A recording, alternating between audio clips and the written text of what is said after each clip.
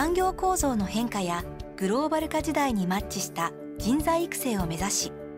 本学では教育研究組織をご家庭専攻としています。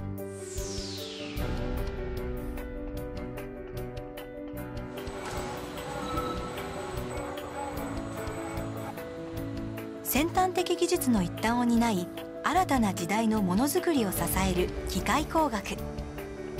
そのフィールドは幅広くロボットから福祉環境まで。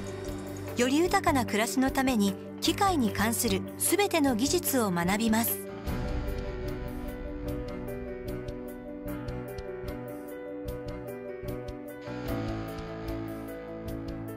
全方向移動車椅子に関する研究を行っています。実際に車椅子乗ってる方に使用してもらったりして評価していただいているのでそれを生かしてさらにもっといい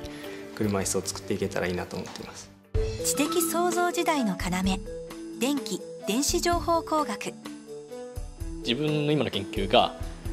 部品を選んで回路を作って、まあ、安全面だったりそういうことを考えながら回路設計開発していく。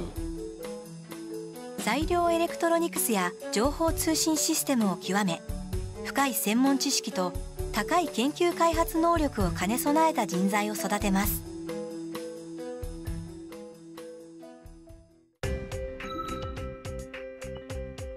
進化する高度情報化社会を牽引。情報知能工学。目指すは情報関連分野に精通するリーダー的なエキスパートです。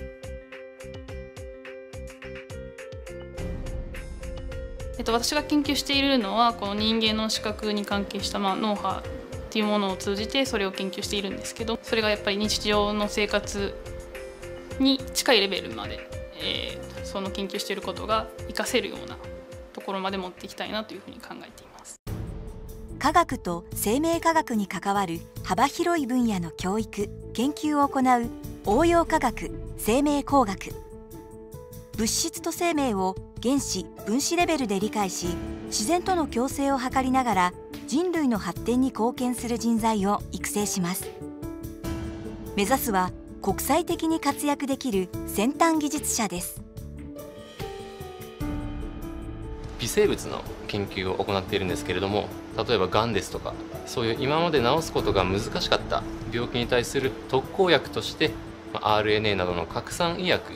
という薬がまあ最近開発されております。私が今使っている微生物はその RNA を体の外に勝手に出してくれると、まあ、RNA を安く大量に作る技術の開発を目指している建築都市システム学では人と地球に優しい建築や都市をデザイニング。さらにシステムとしてマネジメントするための技術も学んでいきます。